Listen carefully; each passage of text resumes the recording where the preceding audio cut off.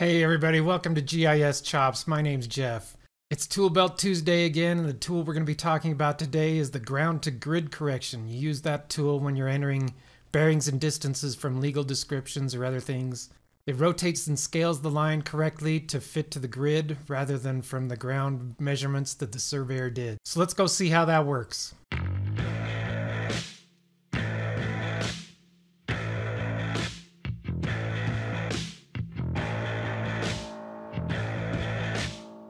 To set your ground to grid correction, you need to go to the Edit tab.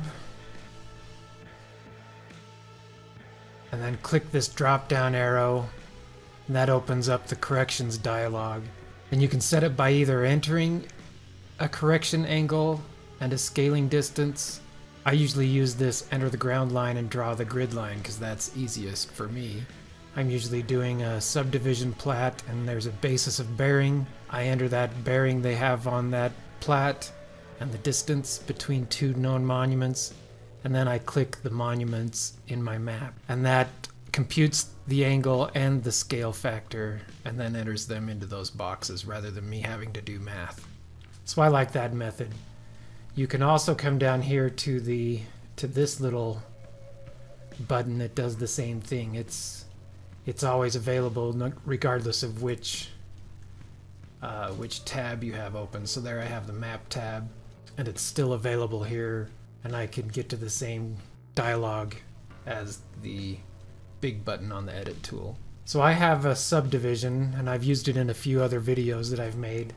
But this subdivision has a basis of bearing between these two two section monuments and I have tie sheets for those section monuments, which means a surveyor has gone out, collected coordinates for those monuments, and published those to the county courthouse. And so they're they're really good coordinates using GPS. So I'm going to take that basis of bearing and enter it into this dialog using the enter the ground line and draw the grid line method. My bearing is 0 degrees, 39 minutes, 6 seconds in the northeast quadrant and you see that it's quadrant bearing there in the drop down I can change that to be any one of the others polar south azimuth or north azimuth.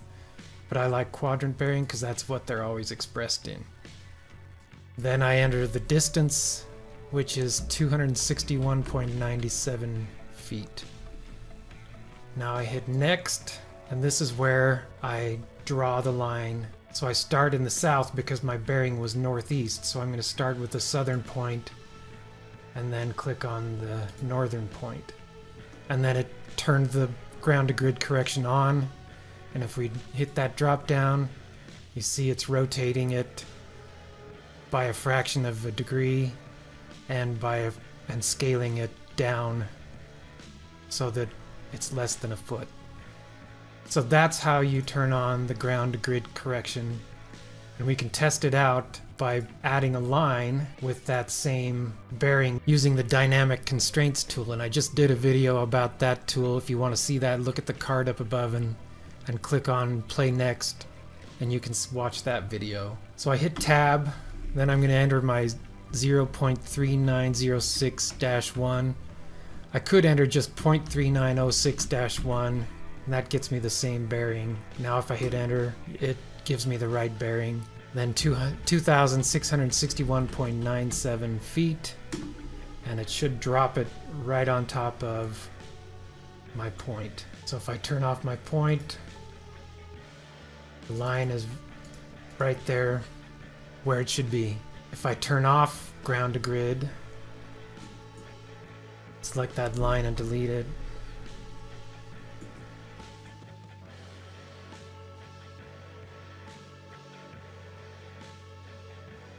and enter that line again.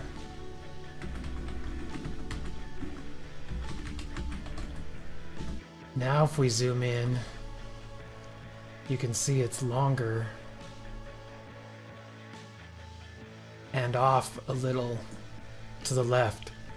So the line is longer and off to the left. So that's how you set up ground grid correction. Let me know if you have any questions about that in the comments. Give this video a like if it helped you out. Subscribe to the channel share it with your colleagues. If you want to see my other Tool Belt Tuesday videos, they're over here. My latest videos up there. My subscribe button's up there. Remember to be nice out there. Be super nice this week. We'll see you next time.